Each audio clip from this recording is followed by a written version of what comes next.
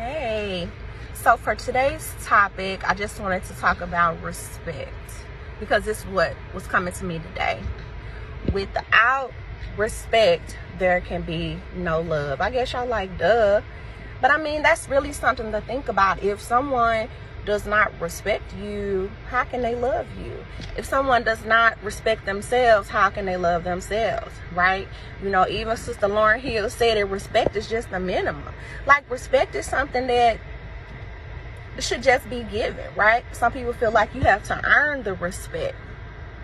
I also feel like love should just be given freely like that is the way that God loves. I know that's how God created me, but my open heart has gotten me into a lot of trouble because a lot of people don't live by that same code. You know, evil is real.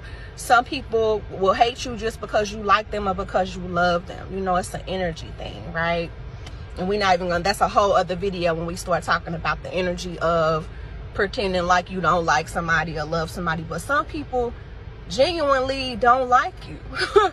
And, you know, I think a lot of men do it. Some women do it too. I think men do it. Um, they may pretend or they'll, they'll, they'll give you just a little bit, whatever it is, you know, as long as you're responding to it. And, you know, maybe they're just around because they want to get something from you. I don't know. You know what I'm saying?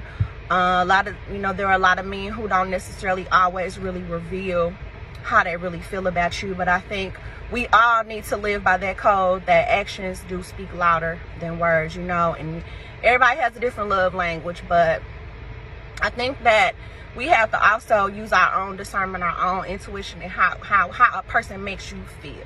If that person makes you feel like they don't respect me, they don't care about me, they don't love me, then nine times out of ten it's true. You know, because when somebody really does respect you and love you, you will know it and they will show it.